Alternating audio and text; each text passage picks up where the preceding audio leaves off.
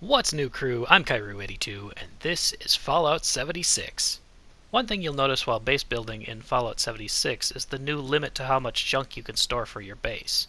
Normally, when you stop off at your stash, you're going to want to drop off all your junk.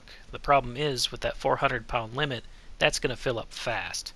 You can make better use of your space by scrapping all your junk ahead of time. Just go to any crafting bench, select Scrap All Junk, and there you go, lighter stuff.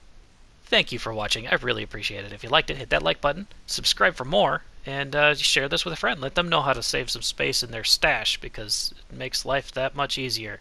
Thanks again. I'll see you in the next video.